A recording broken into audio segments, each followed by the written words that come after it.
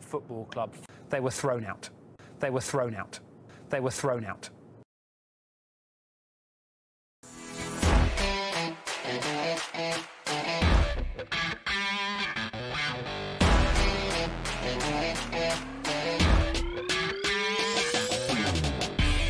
Well, hello and welcome back to another episode of Dead and Bury. I'm your host, Captain FM, and welcome on board to my football manager save. We are doing a long term one with the Phoenix Club, that is AFC Bury Bury AFC, whichever way you want to talk about, whichever way you want to put it round there. We're doing it with them. And we are now into season number four, ladies and gentlemen. And we have seen three promotions back to back to take us from the northwest counties all the way now to the Vanaramas. We're in the Vanarama North. We've started the season. We've had a decent start as well. We've had a summer. We've got some players that have gone and some players that have come in. And I'm going to show you in this episode today. And then we're going to play just the one game against Kettering who are sitting third in the table. We are currently second in the table. That just gives you an indicator on how good a start we've had already. Right, let's get straight onto it. Check out the ins and outs. Well, Rooney retired, Jermaine Defoe retired, Nathaniel Knight Percival retired. So three players that we lost, three, not four, three players that we lost that were pretty much starting 11. Nathaniel Knight Percival was a backup, but Defoe, 20 goals last season, only signed for us halfway through the year. Wayne Rooney only played a handful of games, injury stricken half of season for us. But he did score the penalty that got us promoted, and that will go down in history. And yeah, what we've done in this episode, well, what we're doing so far is that we are going to not change the squad dramatically because we've got the quality already. We're just filling those little gaps where players are needed. And this, ladies and gentlemen, we have filled the gaps in this summer, I believe. Let's go through the outs to start with. And as you can see, we haven't got any outs that have gone to the club. Basically, they've gone and been released. So, the, like I said, Jermaine Defoe, who is currently now a coach, Wayne Rooney has retired from all football. He's not even a coach these days. Well, it's saying he's a coach. What the hell's going off? Uh, Nathaniel Knight Percival is also retired, like I said, but then we've got rid of Darren Carson and Harry Bridge. If you don't know they are, it doesn't matter. Right, let's go straight on to the ins then. Well, we needed a backup goalkeeper, and we've got that with Vasiles Gunneles. That's the one, and that's what we're sticking with. We've picked him up, an Greek under 21 international. He was on the books at Chelsea's youth he didn't get released by under 23s. He got released from the under, what is it, the under 19s that you have in the team. So, not he never really got any, didn't get a sniff getting anywhere near the first team. But he's got the quality to be a backup. And if you've got three stars in this division, then you are good enough to be in the league above. Vanarama national level, they're saying, potential to be a Sky Bet League 2 goalkeeper in the future, and he's our backup. So if we did lose Jaros, injury, suspension, or something like that, then this bloke is going to be able to come straight in and he's going to do a decent job for us. Welcome to the club, Mr. Vasiles Gunelas. Yes.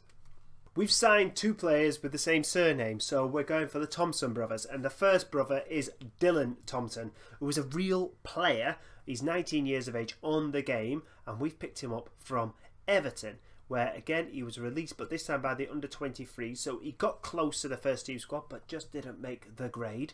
But he's going to play for us, and he's going to be our starting centre back. Matt McGuinness did an absolutely fantastic job for us last season, but he didn't develop into the player that I wanted, and I wanted someone that was just a little bit more determined to get us through the leagues. And with 16 determination and a personality of fairly determined, and just pretty much decent all round central defensive attributions, I think we've got a decent lad here, and he's started very well for us 7.90 to three games and one goal. Welcome to the club, Mr. Dylan Thompson.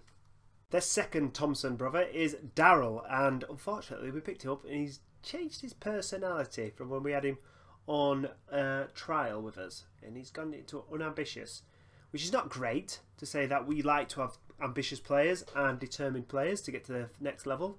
So we'll just see how he develops. It might change. He's only 18 years of age. His personality can change. And we picked him up from Manchester City, another player that didn't actually make it to the under 23s. he was developed, he was released from the under 19 squad, so never got a sniff of going anywhere. But when I got him on trial, there was other players that my assistant was saying you should go for this player, and I just something drew myself to him, and I think it was his bravery at 17 and a ball-winning midfielder, so not scared about getting himself stuck in and getting himself around. And I'm very very happy to have him on board and have him as part of my team. He will be starting in the centre midfield with Harry Henry Lansbury. Welcome to the club, Mr. Daryl Thompson, the Thompson brothers. After losing Jermaine Defoe, we needed a striker, and I went and looked at our local neighbours, and it was Manchester United. As you can see, we've taken Manchester City players and we've taken Manchester United players now, and the Manchester United player is Mr. Graham Dodds, who hit the ground running for us. Three goals in two appearances, 11 in six in pre season. Every time we played a pre season game, I kept looking and thinking, wow, this player is very, very, very good. Personality, fairly professional, enthusiastic striker is the media prediction. Very much like that. Three star credibility, three star potential ability. Even if he only gets us through these next two leagues and then he starts dwindling away at League Two level, he would have done us a job. At this moment in time, he's twisted an ankle, so he's out for the next two weeks, and we're not going to see him today, which is very, very unfortunate. But I'm telling you, ladies and gentlemen, this bloke could be the real deal. Really, the real deal. Welcome to club, Mr. Graham Dodds. And last but not least, we needed a right midfielder, and we just needed a bit of experience, I think, as well. While saying that, we just couldn't get anyone in that was any good. And this was the best player that we could bring in. Two and a half star current ability, two and a half star potential ability. David Worrell, he has been uh, here, there, and everywhere around the northwest, and he also had a little stint at Southend and at Millwall as well. But he has been everywhere. Started his career off at Bury, which I didn't actually realise. and he played many times for Bury. Wow.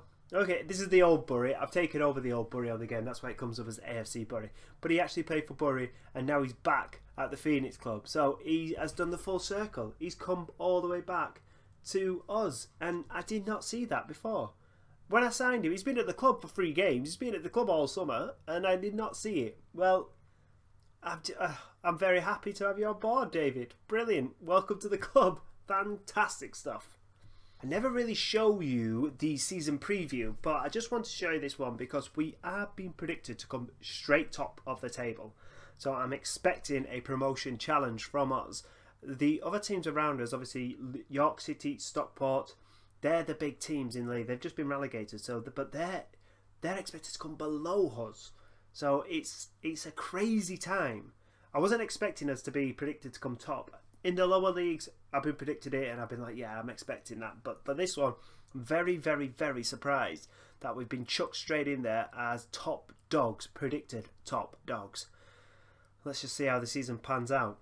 And this is how things have been going since the start of the year. Obviously, preseason went very, very well for us. We didn't play many. We didn't play a single big team, to be completely honest with you. So I wasn't actually 100% sure if it was a reflection on how we were going to perform. And then we went and played Gateshead in our first game of the season, and we won by six goals to one away from home. And I thought, wow, we are pretty decent then. And Graham Dodds scored a hat trick on his debut. That's why I'm talking about him being something else in this league. Dylan Thompson got a goal on his debut. Graham Dodds hat trick, like I said. Josh Appiah and Iliman Ndiaye, the lads from previous years, all on the score sheet for a 6 1 victory. Outstanding stuff. We followed that up with our first home game of the season, and it was a 4 0 thrashing of Stalybridge. And look how many yellow cards they got, which was crazy. Graham Dodds did get injured in this game. It was by a tackle as well, which was disgusting. I did have a bit of a beef with their manager afterwards, and I was not happy. Anyway, we won by four goals tonight. It was a great performance from us. Dal started in this match, got the win, uh, got the first goal. Stefan O'Connor after 13 minutes. Josh Appiah made it 3 0 before the break, and then he scored again on the 62nd minute to complete the rout. And then we just played South Shields. We went 1 0 up after 30 seconds through Sebastian Nabala, but they scored on the 30th minute. And then the game just kind of became a bit of a, dub, uh, um, a, a, bit of a poor one, to be fair. It, no one really looked like they were going to score, and it just finished 1 1. And that leads us to where we are today. We're going to be playing Kettering. They are third in the league. It's going to be a strong game, and Kettering, obviously, I mean, I'm not sure if they're any good or not, but they are predicted to come up and around the top end of the table, so I'm expecting a challenge. Right, here we go. First game of the season. Well, not our first game, first game on camera. Kettering at home. Their manager is Paul Cox. No idea who that is. They've started off pretty well, same points as us. So, like I said, it's just going to be a challenge, this one. Big one. Right, this is the starting 11, and we are missing Sebastian Nabala. He's out injured, and Graham Dodds, obviously, as I mentioned before, is also out injured. So this is going to be what it looks like. Yaros in goal, O'Connell, O'Connor, and Dylan Thompson at the back. We've got Worrell, Lansbury and Daryl Thompson in the midfield. Attacking left side of midfield is Dal, and then we're going to play Iliman Ndiaye behind Josh Appiah and Rob Arker up top. We're staying attacking, even though we're away from home today. Oh, no, we're actually at home. So, yeah, we're going to stay attacking. Our possession stays the same. In transition stays the same. And our possession stays the same. We've played that tactic for the last couple of years now. And it has worked a treat. Why change anything? The only changes that we do have in this uh, league is that we go from seven subs down to five. Which is just bloody rubbish. Right, so this they're going for a 4-4-2. Is there anyone from their team that stands out and played at a higher level? This lad. Romario Vieira, once upon a time of Leeds United. That's the only one that really sticks out for me. I don't really know anyone else.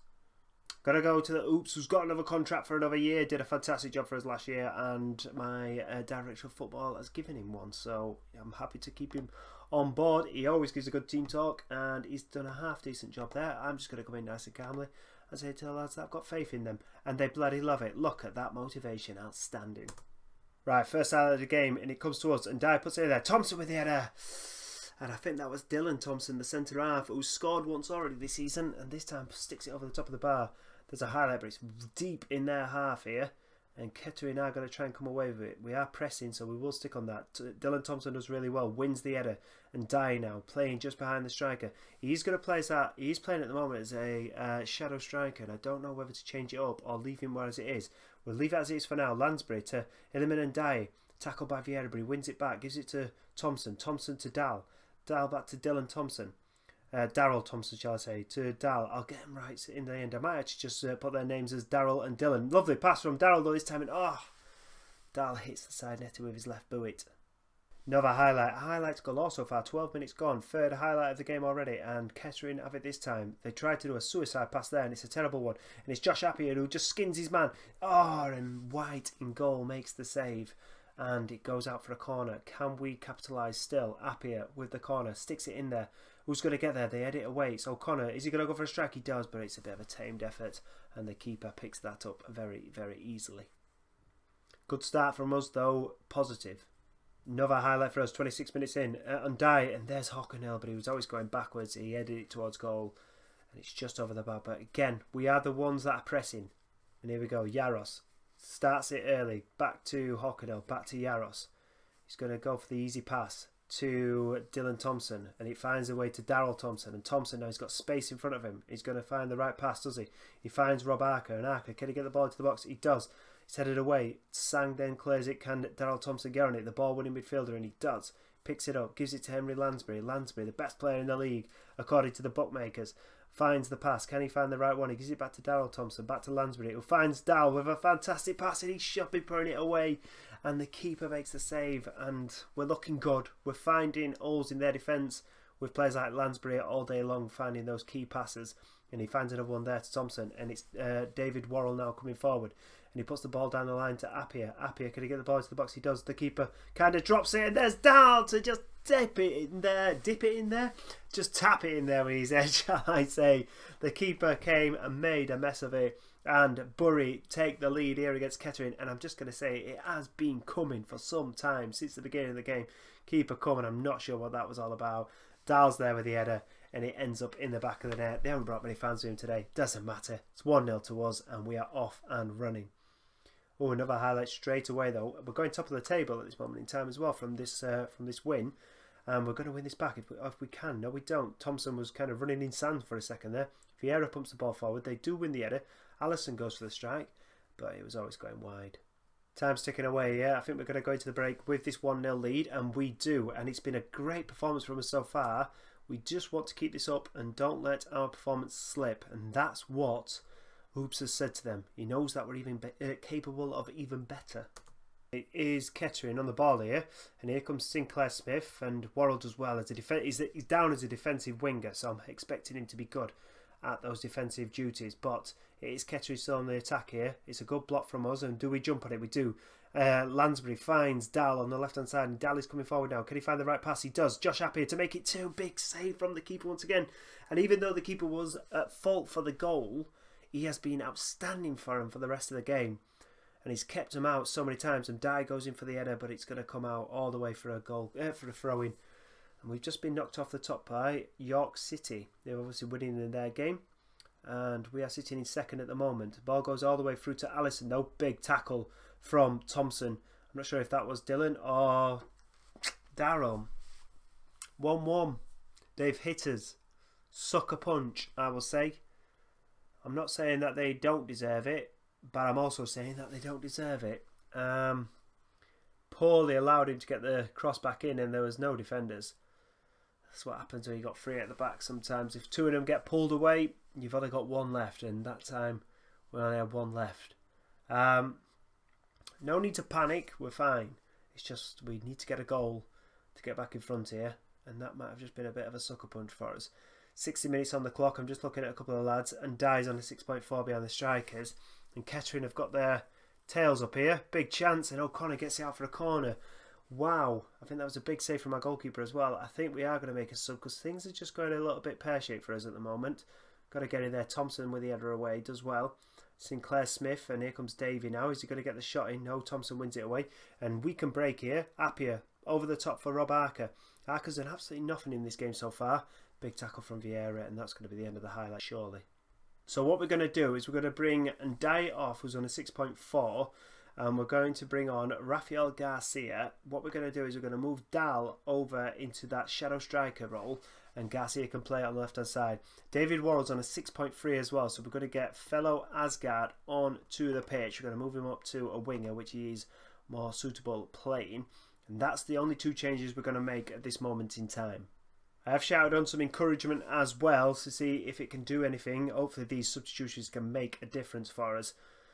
But can they? There's only 15 minutes to go. We haven't really done much. Here comes Henry Lansbury, though. Puts the ball into the box. Hockenhill's there with the header! And it's a fantastic header. Now we've got to hold on. We've got to hold on for this lead now. It's a massive lead for us. Like I said, these are right up there in the league with us. And if we're going to get promotion into the Vanarama National Leagues, then we need to win games like this today.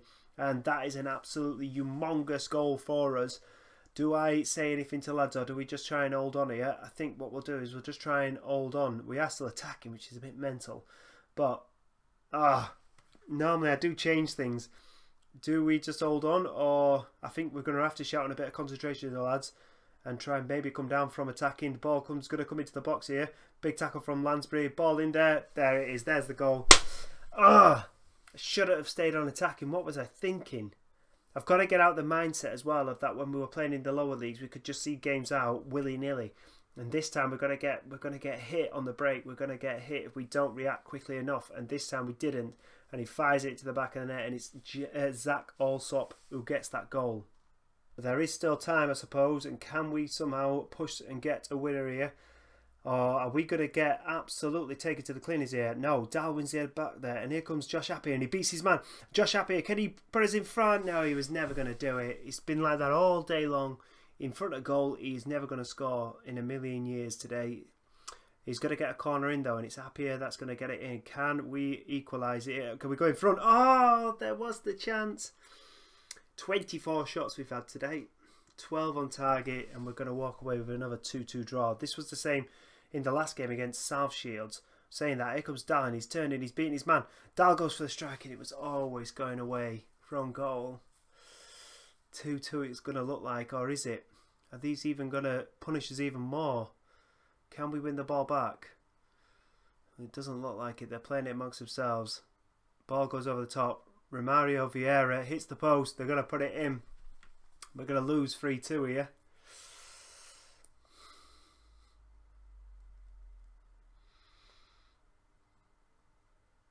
Ah, oh, that's a killer. That is an absolute killer. 3-2 defeat. Wow. Welcome to the Vanarama Leagues, ladies and gentlemen. We're not just going to be able to run through these, are we? Ah, disappointing. I am disappointed. We had so many shots on goal, so many clear-cut opportunities. We should have been winning that game. Poor. Right, there is confirmation of the 3-2 defeat to Kettering. We should have shut up shop. That's my fault. Got to learn. Got to learn as the manager. I've got to learn that we've got to come off attacking when when we're in front. We've got to try and hold on and just grind out victories. Oh, we're never going to go up. Oh, by the way, look how crazy their player system is. Yep. Mental stuff. Right, where are we going to come back next? Um, so I'm actually thinking about getting some games right under our belt here, and I'm thinking about coming back in October for the game against Darlington. There. We're away from home. They're, they're actually not having the best time in the world at the moment, but I think we play some of the more notable teams that people know and people love, then I think we'll get through this. So I think get through the rest of August, the rest of September, and then come back for that Darlington game. It will be absolutely amazing, and we'll be right into the season by then. Well, I hope you've enjoyed this episode as much as I have. If you have, give it a like, give it a thumbs up, share it amongst family and friends.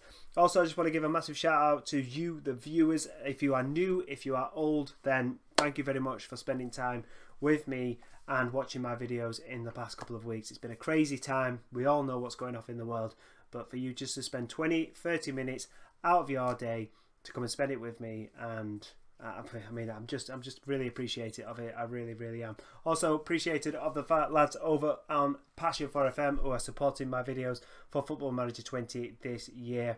I'm going to be back for another episode of Dead and Bury, the rise of AFC Bury, in a couple of days' time, and I will see you there. Bye bye.